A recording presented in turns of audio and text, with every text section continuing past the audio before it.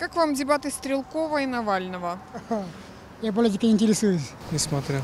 И не собираюсь. Это неинтересно. Я, к сожалению, не успела посмотреть. Может быть, э, посмотрю еще. Вы знаете, я не в курсе событий. Пусть они будут любые, но Я вообще-то не за Навального.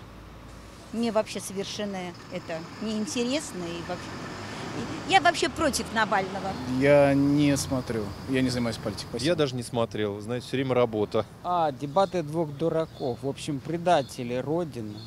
Ну, видео Явлинского было. Он разоблачил Навального как а, проект ФСБ.